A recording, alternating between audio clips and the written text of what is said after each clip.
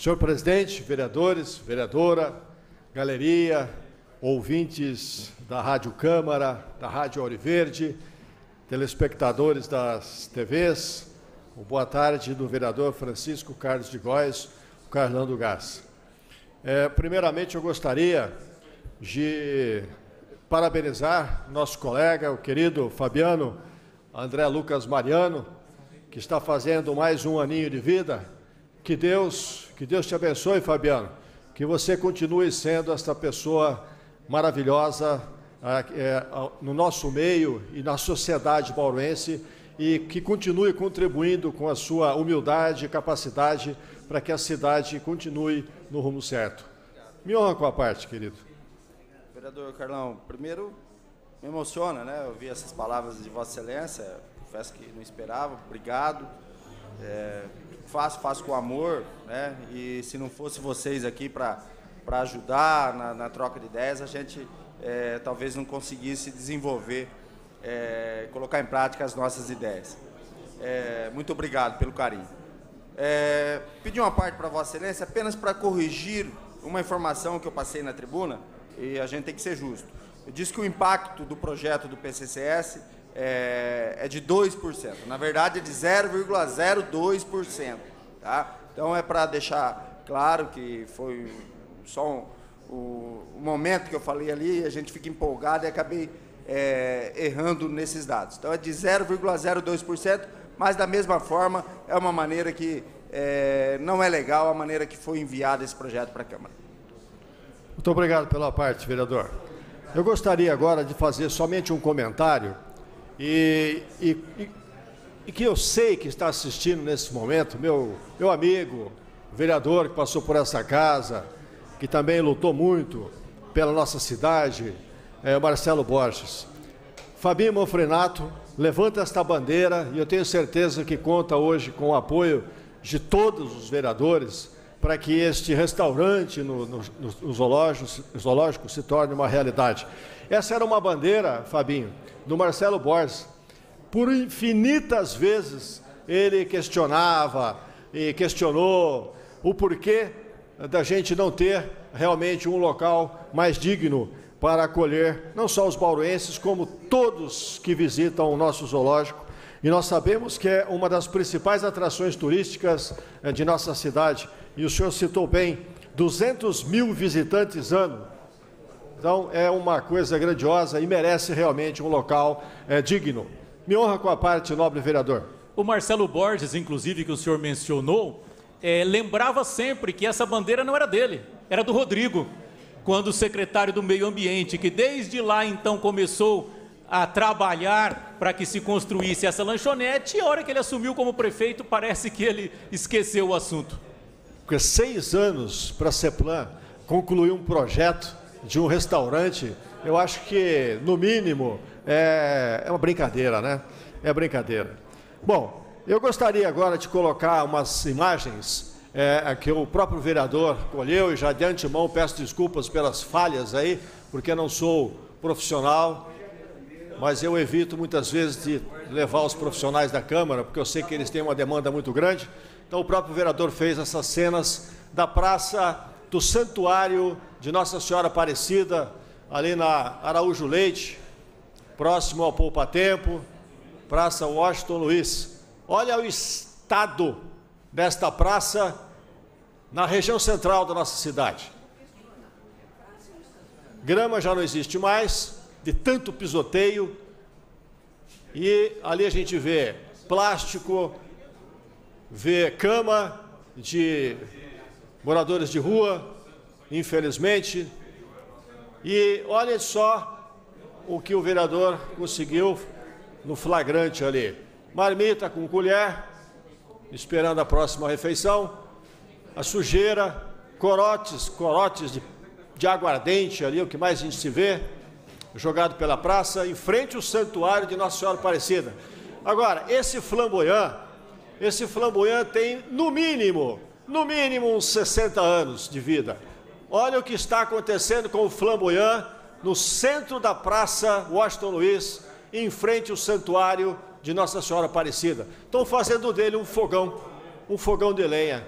está queimando o caule principal. Olha o tamanho desse flamboyant. Olha o tamanho desse flamboyant que está sendo sacrificado por moradores de rua e, e a gente não vê providências. Isso na frente da praça, do lado da Araújo Leite, próximo ao ponto de ônibus existente ali. Olha o acúmulo de lixo, de galhos, que infelizmente ali, pelo que eu vi, parece até de uma festa junina que fizeram por ali e jogaram depois os restos da festa junina na praça. Agora, a reclamação veio de uma senhorinha que tropeçou na calçada, indo para o santuário fazer ali os seus atos de fé. Olha o estado da calçada na Araújo Leite, na Praça Washington Luiz, santuário de Nossa Senhora Aparecida em nossa cidade. Olha o estado da calçada, lamentável. Existe ali toda uma mobilização dos paroquianos do santuário, do padre. Ao fundo vocês podem perceber a imagem do santuário de Nossa Senhora Aparecida. Existe uma mobilização do padre, de todos os paroquianos ali do santuário, para adoção dessa praça. E, inclusive, ventila-se a possibilidade de colocar, como a, a igreja é, Santa Terezinha fez, uma grade de proteção que à noite fecha e durante o dia abre, porque isso acontece normalmente no período noturno.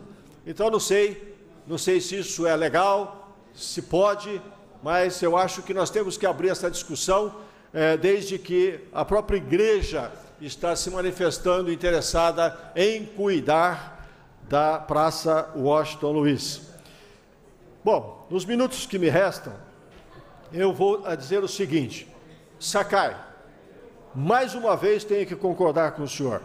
Eu vou pegar essa, essa pastinha que eu tenho aqui, que não é função de vereador, mas está aqui, saúde porque a gente é muito procurado pelos moradores para é, res, tentar resolver as suas angústias e seus sofrimentos. Ame. Esse cidadão, não vou citar o nome, está aguardando há aproximadamente oito meses uma ressonância magnética. Ame. E tem até o número, mas eu vou, também não vou citar. Ame. Esse cidadão está esperando por uma cirurgia de hérnia inguinal, complicadíssima, há aproximadamente oito meses. AME, encaminhamento do município, para um proctologista, está com um problema sério, está aguardando o um médico há aproximadamente oito meses. AME, aqui está a carteirinha, está aguardando essa senhora há aproximadamente oito meses um exame ergométrico um exame aparentemente simples, oito meses. E aí, o que mais me assustou na carteirinha do AME, diz assim: ela passou pela unidade básica de saúde, o médico atendeu e encaminhou para o especialista. E aí, diz assim: ó, no momento, não há vaga disponível para o tratamento. O paciente ficará em lista de espera e assim que, agendado, entraremos em contato. Caso ocorra alguma alteração, o telefone, endereço, por favor, ligar. Gente, está aqui. E o interessante é que eles não colocam a data. Não colocam a data da passagem do paciente lá quando que está solicitando essa intervenção, no caso aqui, cirúrgica.